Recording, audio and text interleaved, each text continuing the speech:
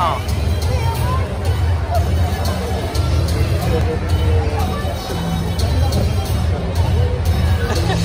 Sabar.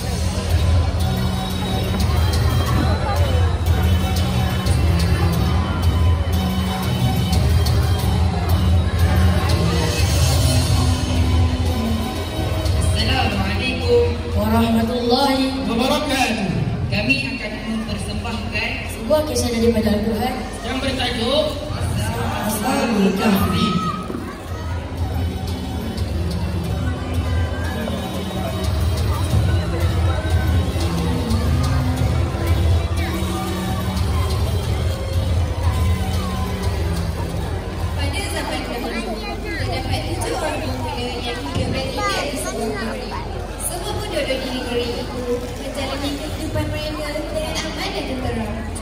percaya dan beriman kepada Allah Tuhan yang Maha Esa. Tiba suatu masa, seorang raja baru telah datang memerintah negeri itu.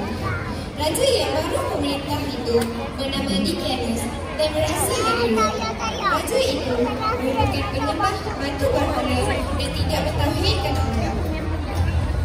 Ketika raja itu memerintah negeri tersebut, raja itu telah melakukan arahan dan memaksa penduduk di negeri itu supaya meninggalkan percaya mereka kepada Allah dan menyembah batu-batu berhala. Barang siapa yang tidak patuh kepada raja itu, mereka akan ditangkap dan disiksa dengan siksaan yang sangat zalim dan kejam. Bahkan lebih dahsyat lagi, mereka akan dihukum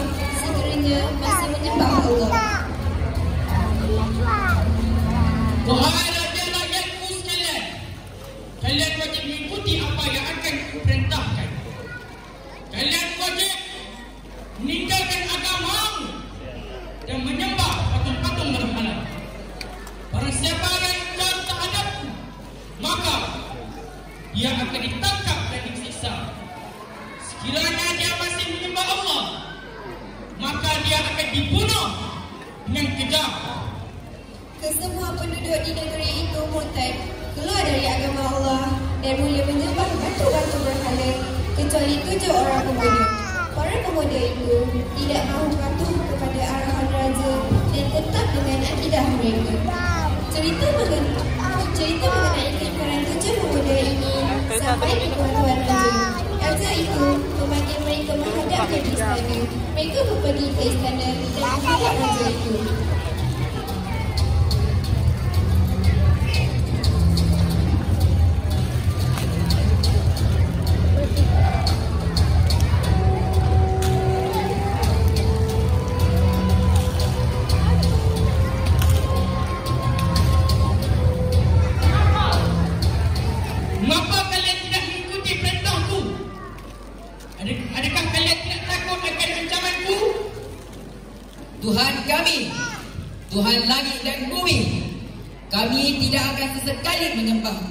selain Allah. Sekiranya kami menyembah Tuhan selain Allah, maka kami telah jauh dari kebenaran. Baiklah.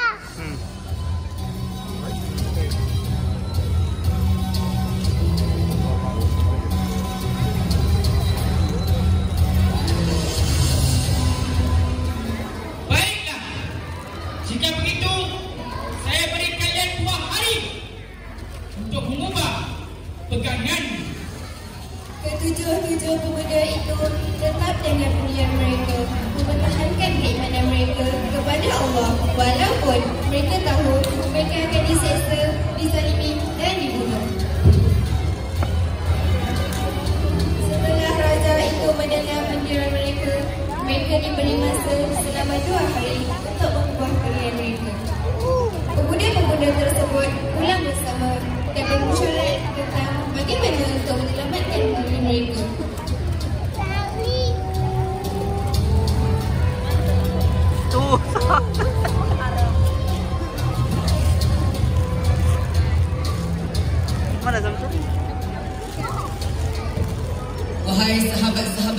sekalian, bagaimana dengan keadaan kita sekarang ini? Nak tak nak, kita mesti berpegang teguh pada akidah kita. Apakah kalian punya cadangan? Wahai sahabat-sahabat saya sekalian Saya rasa lah Lebih baik kita minta saja di negeri ini Adakah kalian setuju macam mana? Wahai sahabatku, aku tidak bersetuju dengan cadanganmu. Aku rasa lebih baik kita keluar dari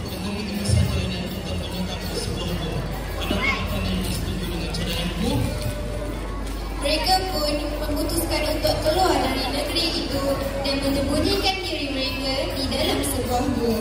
Apabila sampai di hadapan pintu gua, mereka berdoa tangan dan berdoa kepada Allah lalu masuk ke dalam pintu gua. Bismillahirrahmanirrahim.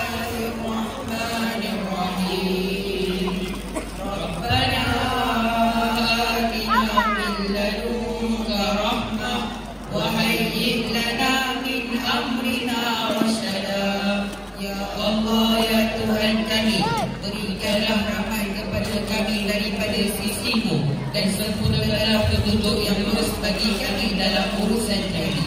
Amin ya rabbal alamin. Akhirnya telah terjadi apa yang telah terjadi. Ketujuh-tujuh pemuda itu telah ditidurkan oleh Allah Subhanahu Wa Taala di dalam gua tersebut selama 300 tahun dan ditambahkan 9 tahun lagi lamanya. Ketika mereka ditidurkan oleh Allah, Allah telah membalik-balikkan jasad mereka ke kanan dan ke kiri dalam keadaan mereka tidak sedarkan diri supaya jasad mereka tidak diangkat tanah. Keadaan itu berlarutan selama 300 tahun dan ditambahkan dengan 9 tahun lagi lamanya. Selepas tempoh itu, Allah telah membangkitkan mereka dan mereka semua terus terjaga daripada tidur mereka. Mereka bertanya sesama mereka mengenai tempoh mereka sudah tidur, tidur di situ.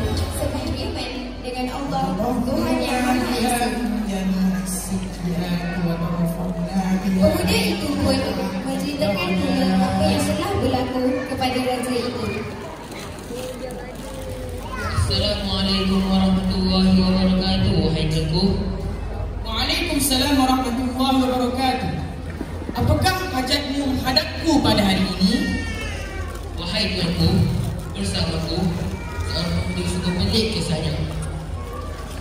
Apakah kisahmu, wahai pemuda?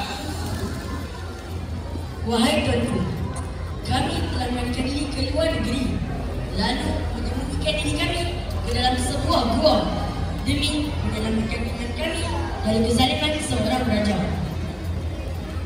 Barangkali cerita kamu ini sama seperti kisah beberapa pemuda pada zaman dahulu. Berapa lagikah pemuda yang bersama kamu? Wahai tuanku, bersama aku ada enam orang lagi yang bersembunyi dalam sebuah gua. Panggil semua menghadapku. Baiklah tuanku, Kesemua pemuda itu dipanggil menghadap raja di istana untuk menceritakan semula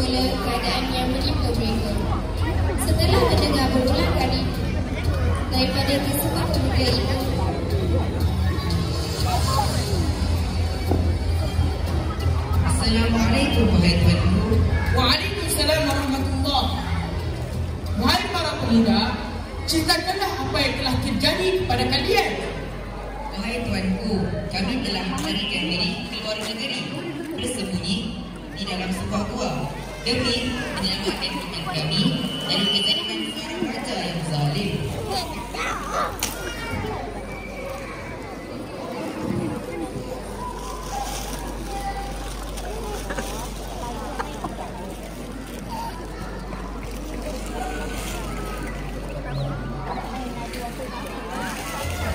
Benarlah,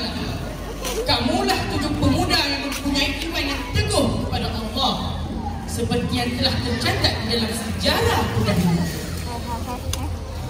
akhirnya raja percaya dan mengakui bahawa mereka lah tujuh pemuda yang telah melarikan diri mereka daripada kezaliman seorang raja demi menyelamatkan iman mereka sebagaimana yang tercatat dalam sejarah mereka. Akhir sekali, ketujuh-tujuh pemuda itu diwafatkan oleh Allah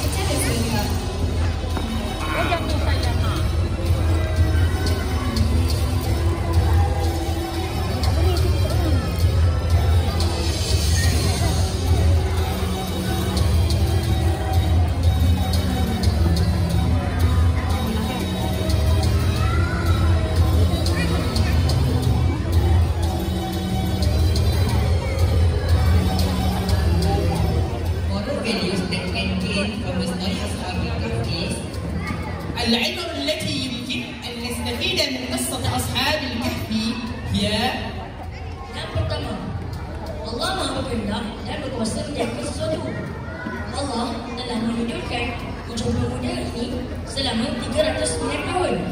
Dan Allah Maha berkuasa membangkitkan mereka semua. Our Creator is the capable and the powerful of creating life. He made the seven men to sleep for 309 years and He is capable in waking them up. الله عز وجل والمدير والقادر على إيجاد الشيء ما شاء الله كان وما لم يشاء لم يكن فالله سبحانه وتعالى شاء عليهم النوم في الكهف على مدة 309 سنة ثم شاء عليهم عليهم أن يبعثهم الله بعد ذلك Yang kedua, sebagai Muslim, kita wajib mempertahankan iman kita kepada Allah. Walaupun diancam dengan berbagai ancaman yang sungguh dahsyat.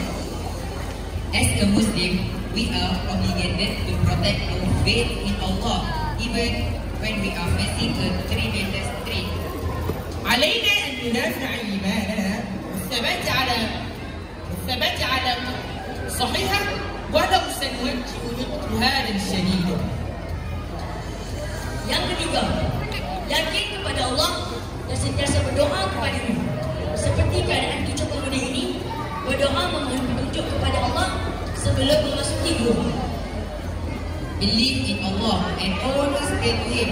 Do not forgo for asking guidance from Him, like this seven men asked guidance before going into the cave. اليقين إلى الله والمداومة إليه بالدعاء كمثل هذه الفتية وكانوا يسألون الرشد والهدى إلى الله قبل دخولهم إلى الكهف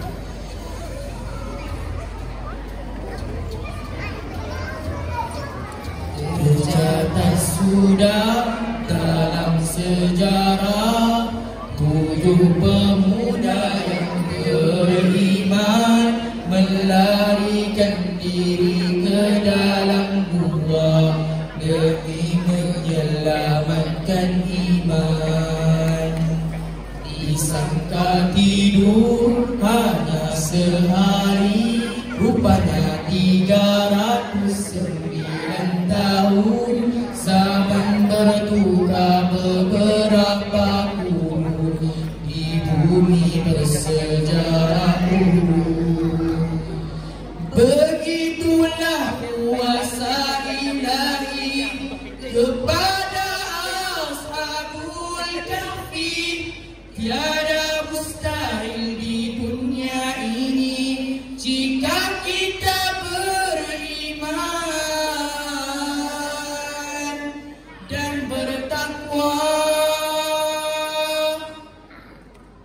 Sekian. Wabillahi taufiq. wal hidayah Wassalamualaikum warahmatullahi wabarakatuh Demikianlah tadi persembahan tiada yang sungguh menarik. Terima kasih diucapkan.